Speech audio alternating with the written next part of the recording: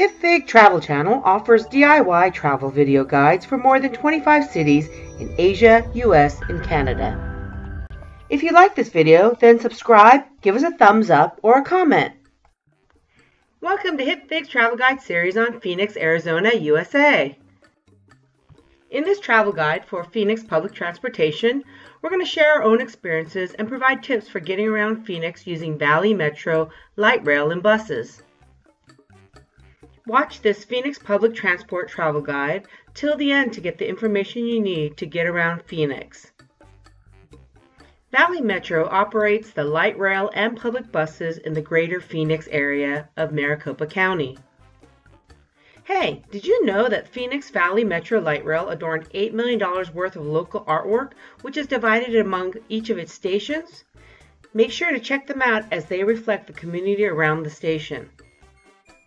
Phoenix Valley Metro Light Rail, also called the Valley Metro Rail, is a 26-mile electric rail system which links the cities of Phoenix, Tempe, Mesa, and Phoenix Sky Harbor Airport. The light rail operates one line east and westbound, mostly in the center of major streets in Phoenix. There are also 35 stations along the line. You will pay for your fares at vending machines which take cash and credit cards. If you're using cash, use denominations $20 or less. Vending machines are located at the entrance of each platform. You must buy a ticket before crossing the paid line of the platform. The Valley Metro light rail is inexpensive and affordable. When we checked it in early 2019, tickets cost $2 per ride no matter the distance. The cost of an all-day pass is $4. The costs for students, adults, and disabled are reduced by almost half.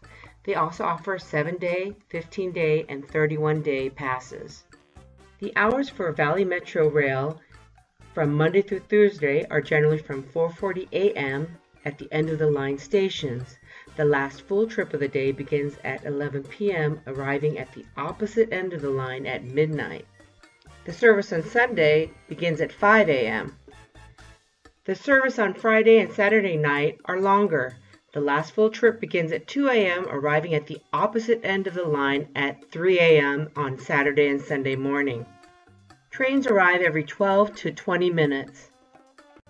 You can also connect to Valley Metro Rail from Sky Harbor Airport by taking the Phoenix SkyTrain and exiting at 44th Street, Washington Street Station. The Valley Metro Light Rail also includes stops at the Phoenix Art Museum, the Heard Museum, Chase Field, Talking Stick Resort Arena, and Tempe's Mill Avenue District. Valley Metro Buses as in any city, Valley Metro buses cover most of the city of Phoenix and surrounding areas of Maricopa County, Arizona.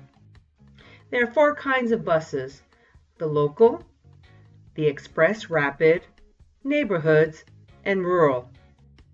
Valley Metro local and neighborhood buses are the most useful to visitors.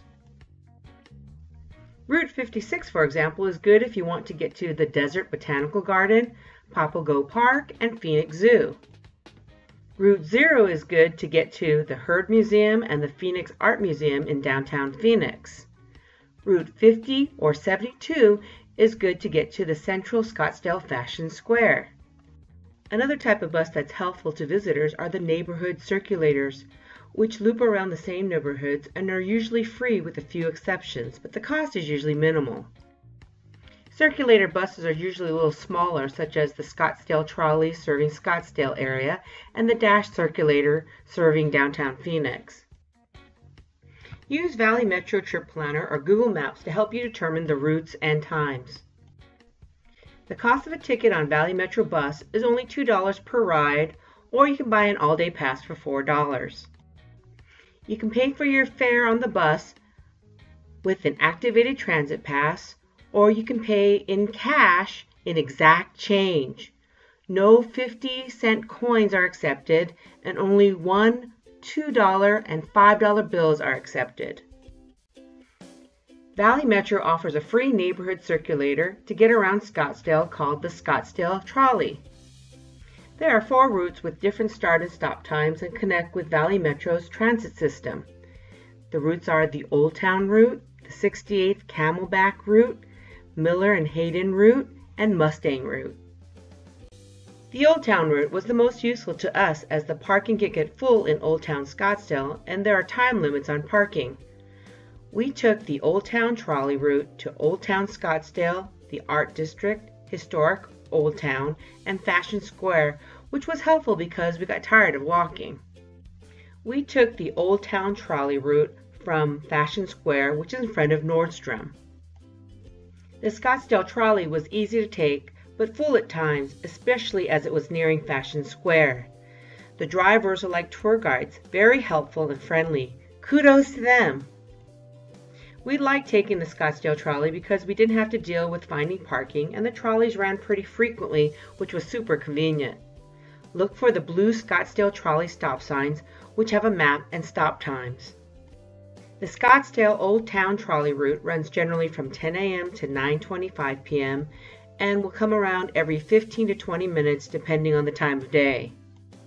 The other routes have slightly different times. Check out the City of Scottsdale or Valley Metro website for more details.